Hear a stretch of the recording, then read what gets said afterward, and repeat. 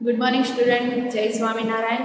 Myself, Hetal Bhalada. I am teaching Gujarati subject in Search and English Medium School, નાટેજ Una તો આપણે આપણું ખૂબ જ સરસ મજાનો એવું ચેપ્ટર ઝબક જ્યોત છે એનો થોડોક ભાગ આપણે લીધેલો અને આપણે જોયું હતું કે દીપક છે એ પોતે ખૂબ તાવ આવેલો છે અને પથારીમાં સૂતો છે એની માતા છે એને શાંત પાડે છે અને આગળ આપણે જોઈએ તો દીપક કહે છે વાચાળ થતો જાય છે, આંખ વધારે ગહન બનતી જાય છે. એ વાચાળ એટલે વધારે ને વધારે આવી બધી રાષ્ટ્રધ્વજની અને દેશપ્રેમની વાતો કરતો જાય છે અને એની આંખો છે એ વધારે ને વધારે ઊંડી જતી જાય છે, ગહન બનતી જાય છે એટલે ઊંડી જતી જાય છે. ઉર્મી બપોરે બા જરા સૂઈ ગઈ ત્યારે તું આવીને મને કહી ગઈ ને કે, બાપુએ આપણા રામાના સુંદરને મારીને પૂરી દીધો છે. એને છોડ્યો કે નહીં? એમ બોલતી નથી. કે એની બહેનને હવે સંબોધીને કહે છે કે, ઉર્મી, તું કહેતી હતી ને કે બપોરે બહાર સૂઈ ગઈ હતી, ત્યારે તું મને આવીને કહેતી હતી ને કે આપણા ઘરે જે રામો કામ કરે છે, એમના ઘરે કામ કરતો માણસ છે. કે રામો જે કામ કરે છે એને બાપુએ છે, પૂરી દીધો છે અને એને છોડ્યો છે કે નહીં? કેમ કંઈ બોલતી નથી? ઉર્મીનો હાથ પકડીને એને પૂછે છે કે, રામાને બાપુએ પકડી એને પૂરી દીધો છે, તો એને છોડ્યો છે કે નહીં? ઉર્મી ધીમે સાથે પોતાના બાપુની એના પિતાની બીક લાગે છે અને એટલે ધીમે બોલે છે, બાપુએ હજી એને છોડ્યો નથી. વળી બાપુ તો કહેતા હતા કે હવે રામાને અહીંથી રજા આપવી પડશે. એ સાંભળ્યું છે ત્યારથી સુંદરની માં રામો રડિયા જ કરે છે. કે બાપુ કહેતા હતા કે હજી એને છોડ્યો નથી, પણ બાપુ કહેતા હતા કે રામાને હવે અહીં નોકરીમાંથી કાઢી નાખવો પડશે. ત્યારથી જ સુંદરની માં અને રામો કે બંને છે એ રડ્યા કરે છે. સુંદર છે રામાનો છોકરો સુંદર છે, એને પૂરી દીધેલો હતો. એટલે સુંદરની માં અને રામો એટલે કે એના માતા પિતા છે, એ રડ્યા જ કરે છે. કારણ કે એમના પુત્રને અમલ દેરાસરીએ પૂરી દીધેલો છે અને કહેતા હતા કે એને કામમાંથી કાઢી મૂકશે. તો એ પોતાનું ગુજરાન કેવી રીતે ચલાવશે? એવી રીતે ચિંતા કરી અને એના સુંદરના માતા પિતા છે એ રડ્યા કરે છે. દીપક અસ્વસ્થ થઈ આંખ મીચી દે છે કે પોતે છે એ પોતાની આંખો બંધ કરે છે. એના બીડાયેલા પગચેમાંથી આંસુ દળે છે. કે એમને પૂરી દીધો છે એટલા માટે પોતાને અફસોસ થાય છે, પોતાને ચિંતા થાય છે. એટલા માટે પોતાની આંખમાંથી આંસુ છે એ સરી પડે છે. બાપુ, એવું શા માટે કરો છો? મને એ નથી ગમતું. એમાં સુંદરનો વાંક હતો જ નહીં. એ તો વાવટો લેવા નહોતો જતો. મેં એની સાથે અબોલા લેવાની વાત કરી એટલે ડરતો ડરતો ગયો. કે સુંદરે તો મને ના જ પાડી હતી, કે મને રાષ્ટ્રધ્વજ લાવી નહીં દે વાવટો એટલે રાષ્ટ્રધ્વજ. કે રાષ્ટ્રધ્વજ લાવી નહીં દે, પણ મેં એને મેં એને અબોલા કર્યા, કે મેં એને કીધું કે જો તું મને નહીં લાવી દે, તો હું તારી સાથે બોલીશ નહીં. અબોલા એટલે ના બોલવું. કે હું તારી સાથે બોલીશ નહીં, એટલે બિચારો ડરતો ડરતો મારા માટે આ રાષ્ટ્રધ્વજ લેવા માટે ગયો હતો. ત્યાર પછી પણ એણે તો કેટલી વાર મને ના પાડી. એમાં એનો શું વાત? કે પછી એણે મને કેટલી વાર ના પાડી કે ના તું રાષ્ટ્રધ્વજ ભલે મેં તને લાવી દીધો, પણ એ ચડાવવા માટે, ચગાવવા માટે તું અગાસીમાં ના જા, એ તો મને ના જ પાડતો હતો. એમાં એનો શું વાંક છે? એને છોડી દો, રામાને રાખી લો, નહીં તો મોઈ મોઈ હિપકા ભરીને રડવા લાગે છે. અને દીપક પછી એને કહે છે કે રામાને નોકરીમાંથી ન કાઢી મૂકો, કે આપણા ઘરે કામ કરે છે, એથી જ એનું ગુજરાન ચાલે છે, તો એને ના કાઢો. અને તમે જો એને કાઢી મૂકશો તો હોઈ હોય હું આ ઘર છોડીને જતો રહીશ એવું બોલવા જાય છે. પણ પોતે બોલી નથી શકતો અને રડવા લાગે છે. સર અમલ ગળગળા થઈ દીપકના ઓશિકા પાસે જાય છે અને હાથ, માથે હાથ મૂકે છે. કે એના પિતા છે એ પણ એને હવે પોતાના પુત્ર પર દયા આવે છે અને પોતે પણ હવે રડવા જેવા થઈ જાય છે અને દીપકના માથા પર હાથ મૂકે છે. બેટા, તું કહીશ એમ કરીશ, પણ હમણાં તું સુઈ જા દીપક. અને પોતે એના પુત્રને કહે છે કે, હા, તું જેમ કહીશ એમ જ હું કરીશ. પણ અત્યારે તું થોડો આરામ કરી લે. દીપક, બાપુ, તમે મારી પાસે જ બેસો ને, અને તુંય ઉર્મિત અને બા. તને ઊંઘ આવે તોય ઉઠીશ નહીં, હો. આજે તમે સૌ મારી પાસે જ રહેજો, પાસે જ રહેજો. અને બધાને પોતાની પાસે બેસવા માટે આગ્રહ કરે છે કે, આજે તમે બધા મારી પાસે જ રહેજો. મેના, અમે સૌ અહીં છીએ. બેટા, તું નિરાતે સુઈ જા. દીપક બા મને ઊંઘ આવતી નથી. જરાક મટકો મારું છું. ત્યાં સ્વપ્નો આવે છે કે બાપુ વાવટો ઉતારી લેવા આવ્યા અને ઝપકીને જાગું છું. પછી બાપુને અહીં જ ભાળી શાંત થઈ જાઉં છું. ઉર્મી જાતો જોઈ આવને વાવટો બરાબર છે કે નહીં? હજી પણ પોતાને આ રાષ્ટ્રધ્વજની ચિંતા છે કે એની મમ્મી છે, એની બા છે ને સૂવા માટે આગ્રહ કરે છે ત્યારે પોતે એની માને સમજાવતા કહે છે કે હું છે, આ જ્યારે પણ મારી આંખ બંધ કરું છું તો મને સપનું આવે છે. કે બાપુએ આ મેં રાષ્ટ્રધ્વજ અગાસીમાં જે ફરકાવેલો છે, એ બાપુએ ઉતારી લીધો છે. અને હું આ વાત ઝપકીને જોઉં છું, તો બાપુ મારી સામે જ બેઠા છે. પછી એની બેનને કહે છે કે, જા તો, તું જોઈ આવતો કે આપણો રાષ્ટ્રધ્વજ જે ચગાવ્યો હતો, એ બરાબર તો છે ને? સર, અમલ, બેટા, એ બરાબર છે. તું હવે છાનો રહે, કે હવે બોલીશ નહીં? જિંદગી પર સેવેલી મારી વિચારસરણીઓ જાણે કડકપૂસ કરીને તૂટી પડે છે. હવે બંધ કર બેટા, બધું બરાબર છે.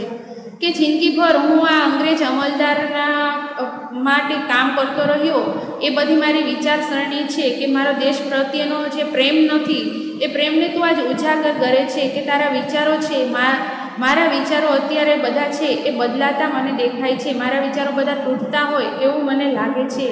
કે હવે તું બંધ થા અને શાંતિથી સૂઈ જા. તારો રાષ્ટ્રધ્વજ છે એ બરાબર જ છે.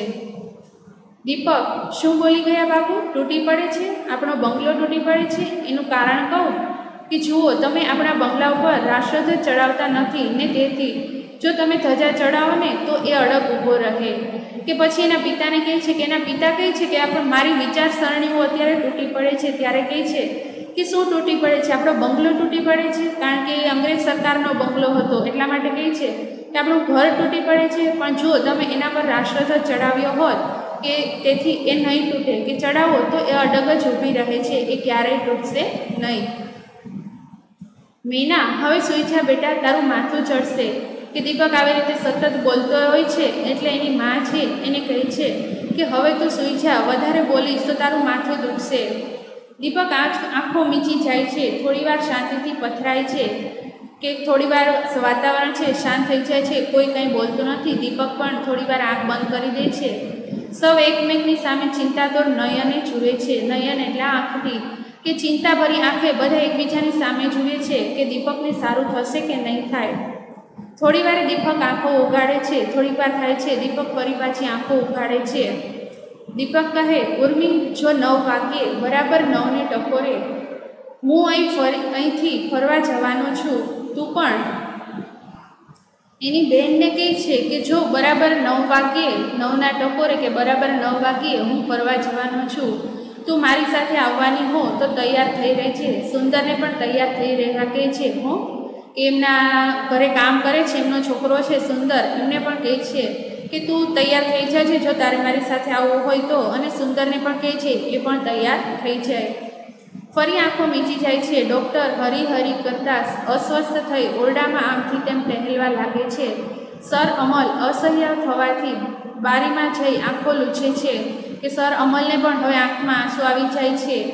મીનાની આંખોમાં શ્રાવણ અને ભાદરવો છે. એની મા છે એ પણ સતત રડે છે. દીપક થોડી વારે ફરી આંખો ઉઘાડે છે. બા તુંય આવીશ ને બાપોનું કામ નથી. આપણે જંગલમાં જઈને વાવટો ખોડીશું. ત્યાં કોઈ આવશે તો તકરાર કરીશું. અને પોતે હજી પણ રાષ્ટ્રધ્વજના જ વિચારો કરે છે અને એની બાને કહે છે કે, બા, તું પણ આવશે બાપુનું કામ નથી. કારણ કે એના પિતાશ્રી છે. એ એને રાષ્ટ્રધ્વજને ના પાડતા હતા. એટલા માટે કહે છે, એમનું કંઈ કામ નથી. આપણે દૂર જંગલમાં જઈશું અને ત્યાં આપણો રાષ્ટ્રધ્વજ છે એ ફરકાવીશું. અને જો ત્યાં કોઈ રાષ્ટ્રધ્વજ ફરકાવવાની ના પાડે, તો આપણે તેની સાથે તકરાર કરીશું, એટલે કે ઝઘડો કરીશું. ફરી આંખો મીચી જાય છે, એનો શ્વાસ ચડતો જાય છે. અને આવી રીતે સતત બોલવાથી પોતે છે, એને શ્વાસ લેવાની તકલીફ પડે છે અને શ્વાસ એનો વધી જાય છે. નંદરાય, સાહેબ, હું જઈશ, કંઈ કામ પડે તો ટેલિફોન કરજો. જે નંદરાય પોલીસ હતા, એ કહે છે કે, હવે હું જાઉં છું, અને જો મારું કંઈ કામ હોય તો તમે મને ફોન કરજો. આપને ત્યાં વાવટો ચડ્યો, તેની જાણ જાણ પણ નહીં થવા દો, એટલે બેફિકર રહેજો. કે તમારે ત્યાં રાષ્ટ્રધ્વજ ફરકાવ્યો છે, એમ હું કોઈને વાત જાણ થવા દઈશ નહીં, એટલા માટે ચિંતા ન કરતા. બાકી તો મને આવા કુમળા મગજોને બહેકાવી મૂકનાર બે જવાબદાર. કે આવી રીતે બાકી તો કુમળા જે આવા નાના બાળકો છે, એને બહેકાવી મૂકનાર જે એનો જવાબદાર રાષ્ટ્રધ્વજ છે, એના ઉપર મને તો બહુ જ ખીજ ચડે છે, એવું પોતે કહેવા માગતા હોય છે. સર, અમલ, એકદમ ફરીને ઠીક ઠીક નંદરાએ પધારજો. તમારો ખૂબ ઉપકાર થયો.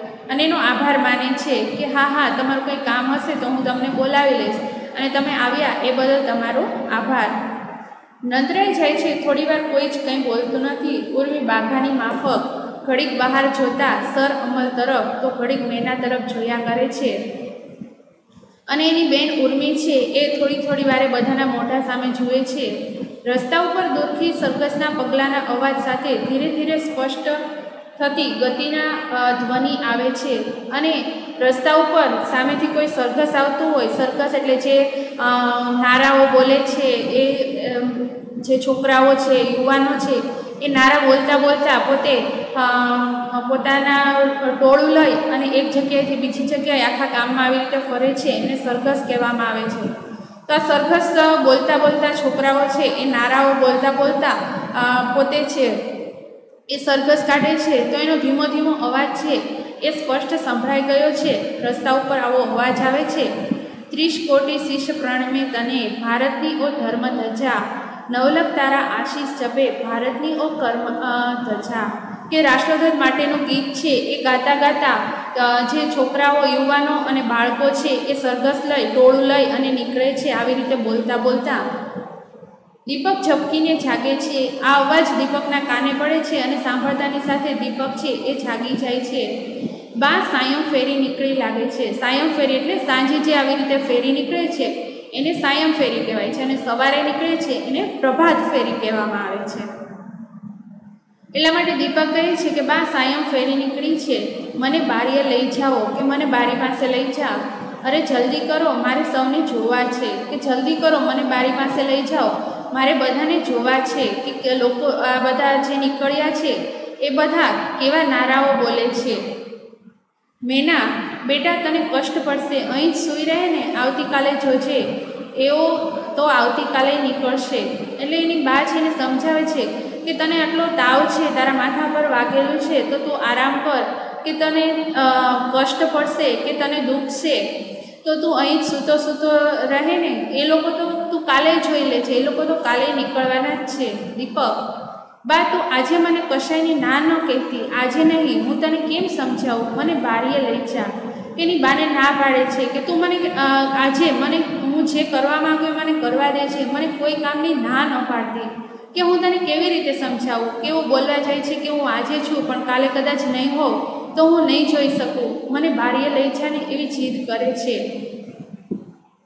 ડૉક્ટર, એ જે કહે તેમ કરો, એ જે કહે તેમ કરો, એને ઉશ્કેરશો નહીં. અને ડૉક્ટર એની મમ્મીને કહે છે કે જેમ કે એમ એને કરવા દો, એને વધારે આવી રીતે એના મગજ પર ટેન્શન ના આપો. સૌ ખાટલાને ઉપાડી ઝરૂખામાં લઈ જાય છે. મેનાની છાતીમાં ટેકવાઈ ગોઠવાય અને દીપક બેઠો થાય છે. નીચેથી આવતા મસાલોના પ્રકાશમાં મસાલ એટલે તમે પિક્ચરોમાં કે સિરિયલોમાં ક્યાંય પણ જોયું હશે કે હાથમાં આ એક ત્રિકોણાકારનું ટ્રાયંગલ આકારનો એક દાંડીઓ રાખવામાં આવે છે અને એના ઉપર એક અગ્નિ ઝબકતી હોય છે. એને મશાલ કહેવામાં આવે છે. તો આવી મશાલ હાથમાં લઈ અને લોકો છે એ નીકળે છે. તો એ મશાલનો પ્રકાશમાં ગીતથી ઉત્તેજિત થયેલું બધાનું મોઢું છે, એ ચળકે છે, ચળકી રહે છે. આગળ વાનર અને માંજર સેનાની મેળ વિનાની પગલીઓ પડે છે અને પાછળના નર નારીના બુલંદ અવાજે ગીતો ગાય છે. વાનર અને માંજર સેનાની એટલે કે નાના નાના બાળકો છે, એ આગળ છે અને પાછળ યુવાનો નર નારીઓ છે અને એ બુલંદ અવાજે મોટા મોટા અવાજે આવા નારાઓ ગાતા દેખાય સંભળાય છે. વ્યોમતણી ફરક પતાકા હિમ ડુંગરના દંડ, સંસ્કૃતિના જગ ચોકમહી ધ્વજ ફરકતો પડછન. આવી રીતે નારાઓ બોલતા બોલતા એ જાય છે. દીપક, મેનાની આંખોમાં જોવા દ્રષ્ટિ ઊંચી કરે છે. બા કેવું સરસ ગીત છે? એની બા સામે જોઈને કહે છે કે, બા, કેવું સરસ ગીત ગાય છે? મને નથી આવડતું. ગાને આવડતું હોય તો? કે, મને તો એ ગીત નથી આવડતું, પણ તને આવડતું હોય તો તું ગાને બા.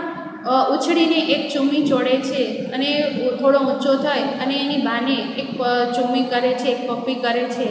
નીચેથી આવતા લોકોના અવાજ સામે મેના પણ જોડાય છે અને એની બાને આ ગીત આવડતું હોય છે એટલે નીચેથી જે અવાજ આવતો હોય છે તો મેના પણ પોતાના દીકરા માટે થઈ અને આ ગીત ગાય છે. જે ઝંડાને ગાંધીજીએ સ્ફટિક હૃદયથી ધવલ કીધો. જે ઝંડાને ભગત છતીને રુધિર રંગ રંગી દીધો. લીલા શાંતિ તણા નેજા ભારતની ઓ ધર્મ ધ્વજા કે સરસ મજાનું રાષ્ટ્રધ્વજ માટેનું ગીત ગાય છે. નીચેની વાનર સેનામાં દીપકની જય ગરજી ઉઠે છે અને સૌ પસાર થઈ જાય છે. અને દીપકના ઘર આગળ આવતાની સાથે જ નીચેની વાનર સેના, એટલે કે એના જેવા જે છોકરાઓ છે, એના મિત્રો છે, એ બધા દીપકની જય બોલાવે છે અને એના ઘર આગળથી સૌ નીકળે છે. દીપક બાએ કોની જય પુકારતા હતા કે દીપક એને બાને પૂછે છે? એને બરોબર સંભળાતું નથી, એટલા માટે એની બાને પૂછે છે કે બાએ કોની જય બોલાવે છે? મેના કહે છે દીપકની. દીપક દીપક કોણ? મેના કહે છે, તું બેટા, તે આજે ધજા ચડાવતા માથું વધેર્યું એટલે સૌ તારો જય જયકાર કીધો છે.